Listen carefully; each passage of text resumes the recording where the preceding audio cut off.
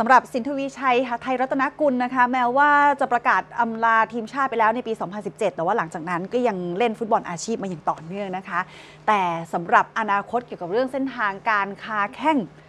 เขาก็ได้มีการเปิดเผยกับสื่อนะคะว่าอาจจะมีการให้คำตอบแล้วก็มีคำตอบในใจแล้วด้วยนะคะสำหรับคุณตีสินทวีชัยหไทยรัตนกุล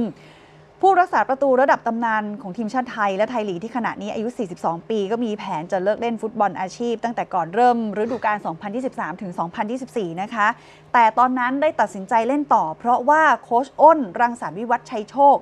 ณ ขณะนั้นเป็นหัวหน้าผู้ฝึกสอนของทีมโปลิสเทโร ก็อยู่คุมทีม แล้วทางคุณตีก็ยินดีที่จะเฝ้าเสาเหมือนเดิมณตอนนั้นนะคะ แต่ว่าพอถึงเลข2ค่ะ โค้ชอ้นรังสรรค์ก็ย้ายไปคุมการท่าเรือจนถึงณปัจจุบันตอนนี้นะคะ ส่วนคุณตีสินทวีชัย ตอนนี้ก็ยังอยู่สังกัดกับโปลิสเทโร แต่ว่าก็มีอาการบาดเจ็บพักยาว แล้วก็หายไม่ทันในฤดูกาลนี้ก็ไม่ได้ลงเฝ้าเสา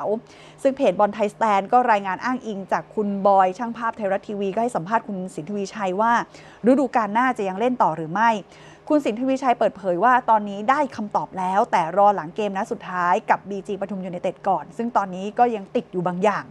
สำหรับตีสินทวีชัยเคยได้แชมป์ไทยลีกหนึ่งสมัยที่อยู่กับชนบุรี FC เมื่อปี 2007 นะคะ แล้วก็ย้ายไปเล่นในหลายสโมสร เช่น พนักงานยาสูบ โอสถสภา สุพรรณบุรี FC เมืองการยูไนเต็ด และก็โปลิสเทโร ในปัจจุบันนั่นเอง แต่ถ้าในนามทีมชาติเนี่ยก็ได้ประกาศเลิกเล่นมา 7 ปีแล้วนะคะ หลังจากที่ประกาศอำลาไป